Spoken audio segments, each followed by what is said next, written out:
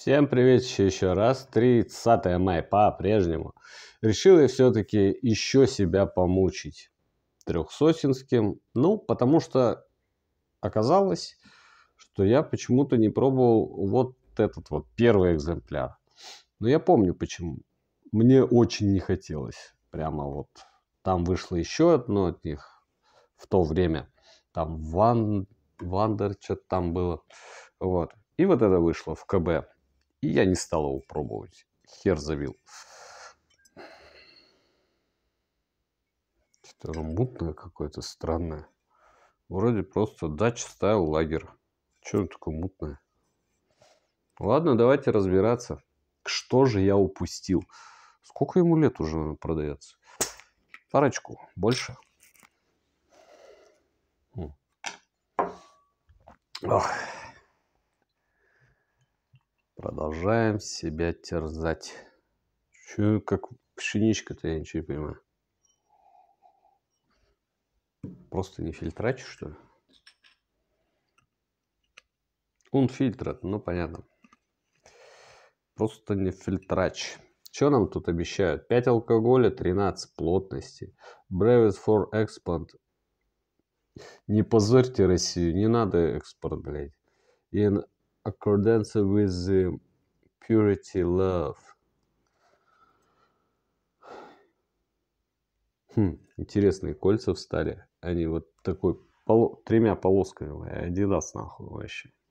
Прикольно. Так. На английском написано. Серьезно, вы экспортируете в Англию? Бедные англичане. Пиво-то у нас светлое, пастеризованное, нефильтрованное, осветленное. Состав вода, солод пивоварный, ячменный, светлый, солод пивоварный, ячменный, карамельный. Хмель. Розлив у нас мартовский, 28 марта. Живет только до 22 марта.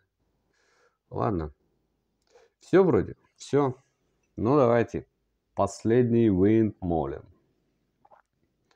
который я пропустил несколько лет назад. Сейчас посмотрим, зря или не зря. Кстати, он самый дорогой, я запомнил наконец-то ценники. Вчерашняя была за 59, позавчерашняя за 58, а эта падла стоит 62 рубля. Как бы неплохо, да? Ну, цвет, ну что? Желто-оранжевый, ну как пшенички прямо, ни хрена себе. Аромат. Ну, тряпочка есть. Ну, кстати, не такой противный, как в остальных экземплярах. Что-то даже как-то удивительно вообще. Трехсосинский. Заканчивайте. Прекращайте баловаться. Что вы меня удивляете. Есть немного по сторонке, но в общем и целом Не такой отвратительный аромат, как обычно. Давайте пробуем.